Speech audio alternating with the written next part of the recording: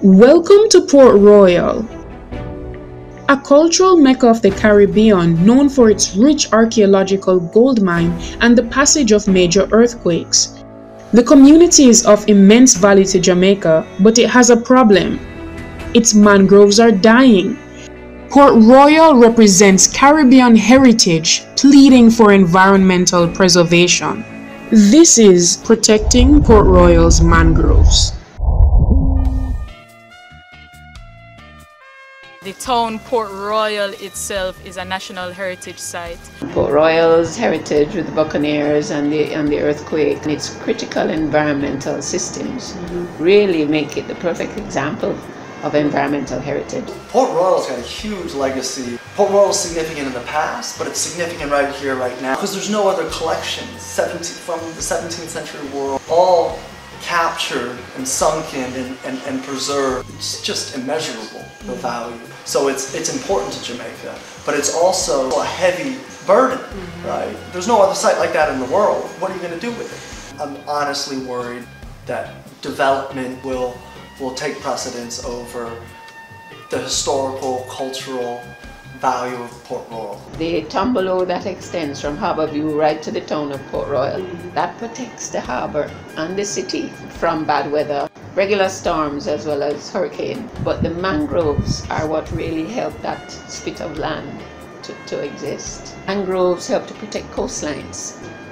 Mangroves have even been shown to prevent damage during storms and hurricanes. Though the development of areas like the Palisadoes Road destroy the mangrove ecosystem that protects the corridor, Dr. Mona Webber points out that there is another possibly more damaging cause. We lose mangroves when we do some of these coastal construction. Oh, the Norman Manley International Airport was a mangrove forest, but more subtle ways we lose mangroves pollution. One of the major ways the Port Royal mangroves have been damaged is through solid waste from Kingston Harbour. In fact, that is probably the number one issue. But most of the garbage that affects the mangroves comes from Kingston and from St. Catherine. So Kingston Harbour is one of the largest natural harbours in the world. It's home to a wide stretch of mangrove. We have almost 23 gullies emptying into the harbour. Whatever you can or cannot imagine is in these gullies, you can find it. You may find old appliances like refrigerators and television. I almost stepped on a hypodermic needle with the needle still attached. And whenever it rains, the garbage is washed out of these gullies and storm drains into the Kingston Harbour and then the waves and currents carry it into the, the marine ecosystems. We have to put barriers up to keep the solid waste. That is the most expensive part. It's simple. Our mangroves protect environmental spaces like Port Royal and the Palisadoes corridor, but our garbage destroys these natural features. If we wish to protect spaces such as Port Royal, proper garbage disposal becomes a must.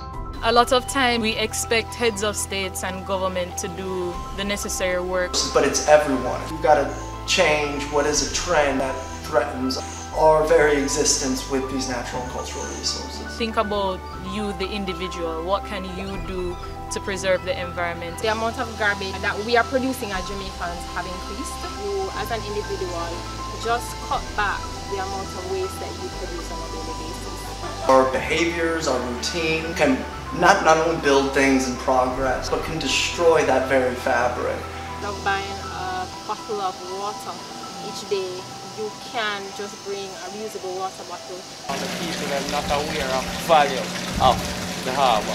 The garbage is just there, not accepted in a degree. And if you lose these ecosystems, you're talking about loss of habitat, increasing uh, coastline erosion. It'll affect not only economy, mm -hmm. but also our identity. A lot more than, than just protective services. Port Royal area considers the mangroves to be almost theirs and something they value. They're, they're in a sense, there's a cultural and maybe heritage related value. These things should be preserved for the people.